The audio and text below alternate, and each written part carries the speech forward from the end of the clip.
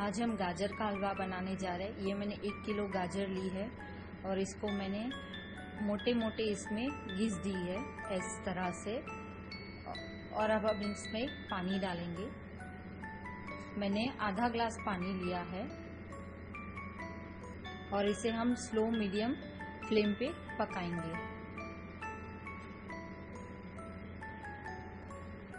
इसे थोड़ा बीच बीच में हिलाते भी रहना है। दो से तीन इलायची डाल दे इसमें कूट के, ताकि अभी से गाजर के ऊपर, गाजर के ऊपर उसका अच्छा सा फ्लेवर आ जाए।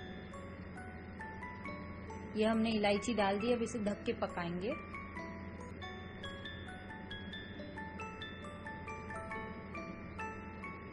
ये अभी इलायची की अच्छी सी खुशबू आने लगी है, अब इसे हम थोड़ा सा हिला देंगे।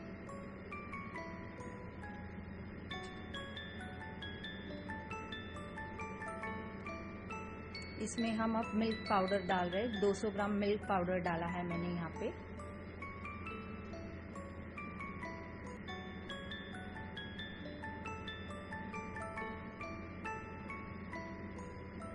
इसे अच्छे से तोड़ ले मिल्क पाउडर को और हिलाए।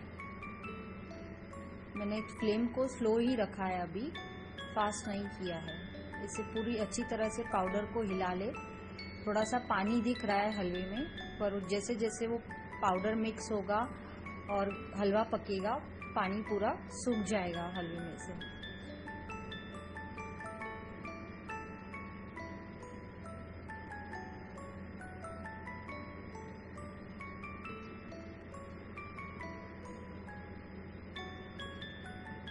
ये काजू और किशमिश ली है मैंने और काजू को हाथों से ही तोड़ तोड़ दिया है छोटे छोटे टुकड़ों में मैंने।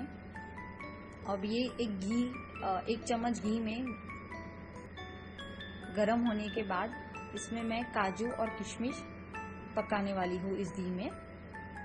ये मैंने काजू और किशमिश डाल दिए इसमें और स्लो फ्लेम के ऊपर लगातार चम्मच हिलाते हुए किशमिश और काजू को हिला रही हूँ। अब देखेंगे कि किशमिश फूल जाएगी एक अलग तरीके से, तभी चूल्हे को बंद कर देना है।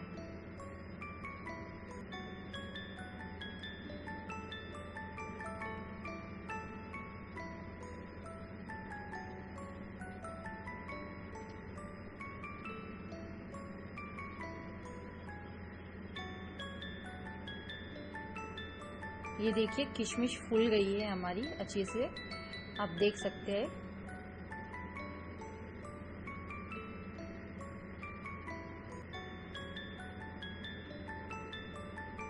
अब इसे हम हमारे हलवे में मिला देंगे।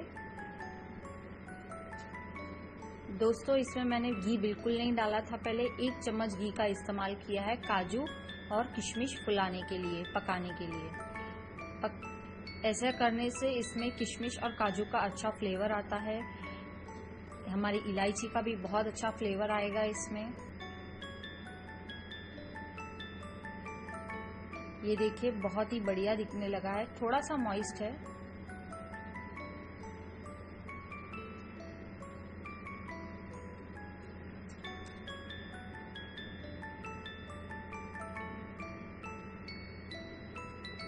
ये हमने बादाम से सजा लिया है इसे।